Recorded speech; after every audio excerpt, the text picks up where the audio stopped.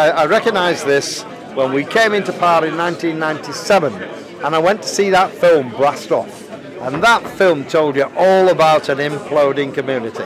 And I was really angry. I was sitting there and saying, why doesn't somebody do that? And I realised I was the minister supposed to do something. So I went to the Durham Miners Rally, which was a month later, and said, we are going to bring a coalfield community programme.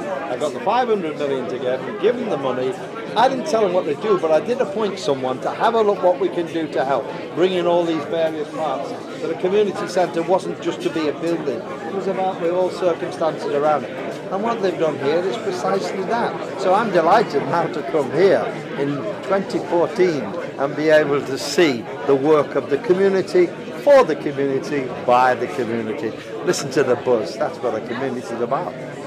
I, you know, I could often politicians go back and stand there and say, "Oh, it worked, didn't it?" Often we're going back to explaining why it didn't.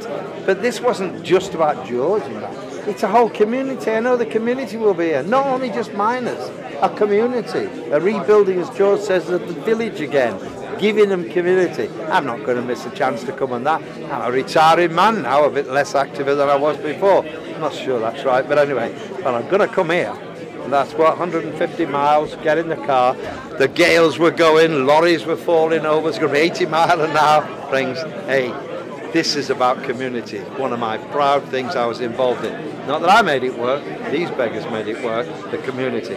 I'm always going to be for community. I'm from the community, live in a community. Hull's a bit like that, it's a damn big village, Hull, but it is a community.